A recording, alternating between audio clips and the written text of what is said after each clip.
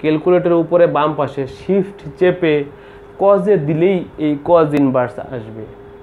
ক্যালকুলেটরে উপরে বাম পাশে শিফট চাপা পরে কস চাপ দিলেই কস ইনভার্স আসবে। পরে হাফ হাফ মানে ওয়ান বাগ টু হাফ মানে ওয়ান বাগ টু ক্লিক করলে মান আসবে সিক্সটি ডিগ্রি মান আসবে সিক্সটি ডিগ্রি এভাবে tan theta equal to root three যদি হয় তাহলে বলো theta equal to tan inverse root three কীভাবে আসে পরে আমি শিখাবো এটা? তুমি আজকে জানো cos A equal to half হলে A equal to cos inverse half tan theta equal to root three হলে theta equal to tan inverse root three ক্যালকুলেটরে উপরে বাম পাশে শিফট চেপে টেনে চাপলেই টেন ইনভার্স আসবে, পরে রুট থ্রি চাপলে ফল আসবে সিক্সটি কত আসবে? সিক্সটি ঠিক আছে?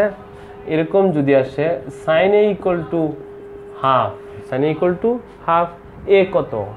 তো লিখতে পারব A equal to sine inverse half sine A equal to half A equal to sine inverse half ক্যালকুলেটরে shift চেপে সাইনও দিলেই সাইন ইনভার্স আসবে। পরে হাফ ওয়ান বা টু পরে ক্লিক করলে মান আসবে থার্টি মান কত আসবে?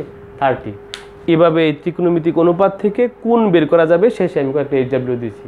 ক্লিয়ার এই হলো নাইন পয়েন্ট ওয়ানের ত্রিকোণমিতির বেসিক ক্লাস বেসিক বিষয়গুলো যদি না পারো ত্রিকোণমিতির যে আরও দুই তিনটা চ্যাপ্টার আছে, ওগুলো কিছুই পারা যাবে না। বেসিক ক্লাসটা ক্যাপচার করবা। আমরা আগামী ক্লাসে জেনারেল মেথে নাইন পয়েন্ট টু পড়ব। কী পড়ব? নাইন পয়েন্ট টু এই সবগুলো আইটেম প্রয়োগ হবে। Clear thank you very much